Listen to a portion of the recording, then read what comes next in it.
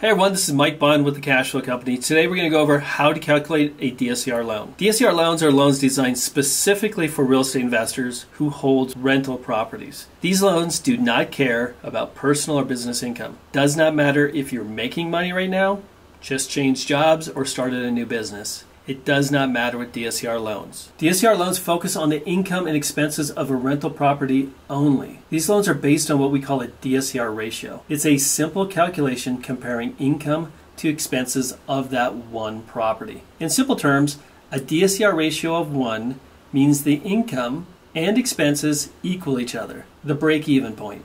And this is the minimum for a good rate on a DSCR loan. Lenders take the income, which is the rent, and compare it to five expenses mortgage payment, insurance, taxes, HOA, and flood insurance. Now we know all homes don't have HOA and flood insurance, but these are the things that go into a DSCR ratio. Let's look at an example. Let's say the income of a property is $1,000. If your mortgage payment is 600, your insurance is 100, taxes $100, HOA 100, and flood insurance 100. all those added up to $1,000. In this case, $1,000 for rents divided by $1,000 for expenses equal a DSCR ratio of 1. Now, from an investor's point of view, you break even. You're not generating any cash flow from this property.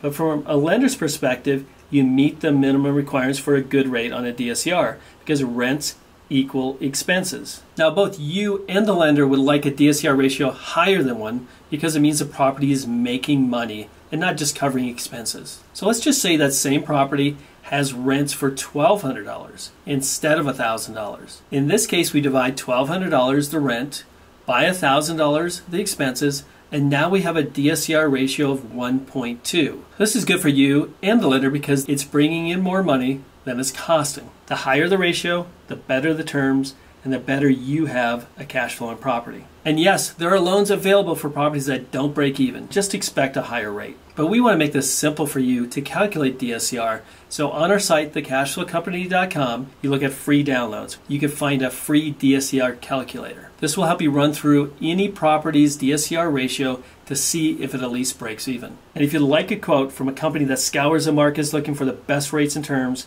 reach out to us at mike at thecashflowcompany.com. The Cashflow Company, helping good people with good loans.